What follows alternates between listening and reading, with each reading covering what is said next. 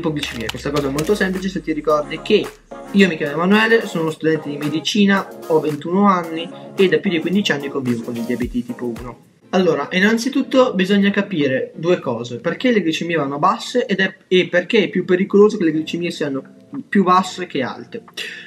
Allora, partiamo dalla prima. Perché le glicemie vanno basse? Le glicemie vanno basse perché la tua quantità di insulina è superiore a quello che è ehm, la quantità di zuccheri che tu hai introdotto in quello specifico momento. In questo caso parlo di carboidrati. Perché parlo di carboidrati? Perché se hai visto i video riguardanti l'indice glicemico, la conta dei carboidrati, come non far andare la glicemia notte, che parlano, non dicono la stessa cosa, ma si integrano bene tra di loro, ti ricordo che se vuoi lasciare un mi piace o iscriviti per un malato cronico va sempre bene. Tra l'altro c'è anche un altro video che è specifico sugli effetti di insulina e glucagone, come agiscono in persone sane, come agiscono i diabetici, in che modo intervengono per mantenere la glicemia.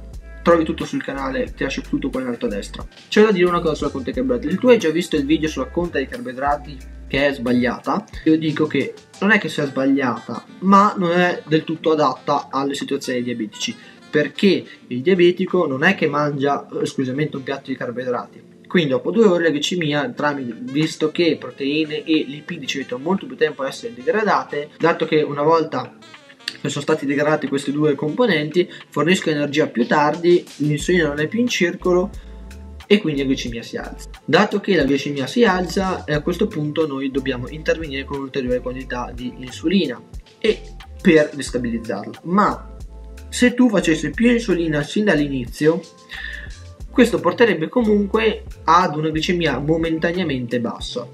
Ora vorrei arrivare un attimo allo spiegare perché è un problema il fatto che la glicemia sia bassa. Il fatto che la glicemia sia bassa significa che il nostro corpo non ha energia e fin qui dici vabbè sto a letto e mi riposo. Il problema è che qua dentro, quello che c'è qua dentro, ha costantemente bisogno di energia e ha un consumo di glucosio giornaliero, sia come il cuore, sia quando si riposa, sia quando si è in attività fisica e sia quando si è in attività mentale, visto che è il cervello e comunque tutto il sistema nervoso centrale a controllare ogni nostro movimento, meccanismo. Quindi, se viene a mancare l'apporto energetico al cervello, o l'encefalo sarebbe più corretto dire, o comunque tutto quello che è il sistema nervoso, eh, si può incappare in, un, in situazioni di quelle che sono problematiche a livello di sistema nervoso, cioè eh, possono essere problematiche riguardanti la trasmissione dell'impulso nervoso, nel caso avvenga a livello di sistema nervoso periferico.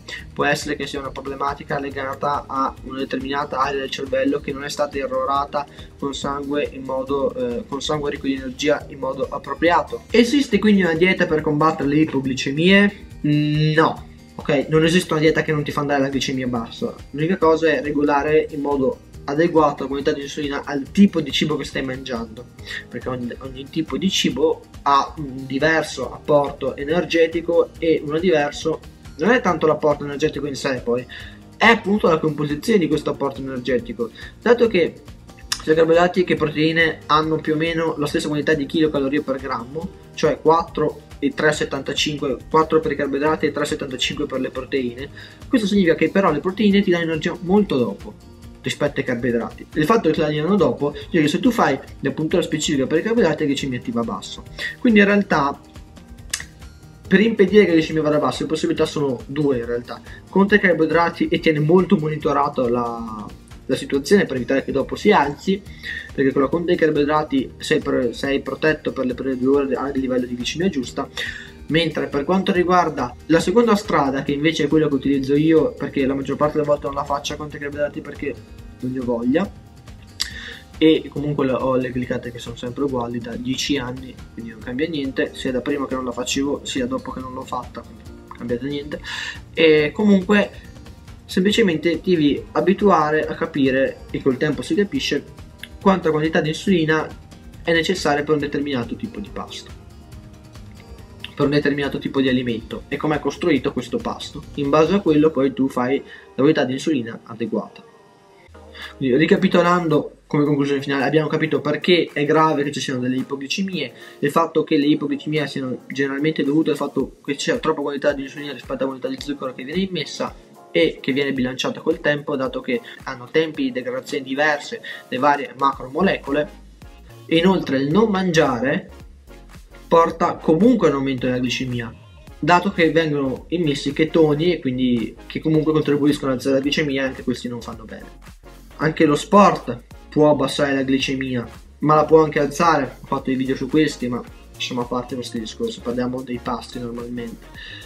Quindi, per quanto dicevo, generalmente è dovuto a una quantità eccessiva di insulina. Come la possiamo combattere? Con o il tempo, quindi a forza di dai impari a gestirle, oppure con una conta di carboidrati più efficace che tiene conto di queste cose, cioè del fatto che le proteine e i grassi ci mettono più tempo ad arrivare, quindi sicuramente dopo due ore dovrai rimisurare la glicemia e rifare la puntura. Io spero di esserti stato d'aiuto, ti ricordo che puoi lasciare un mi piace, un commento cui risponderò di sicuro e iscriviti qua sotto. E niente, noi ci vediamo al prossimo video. Ciao!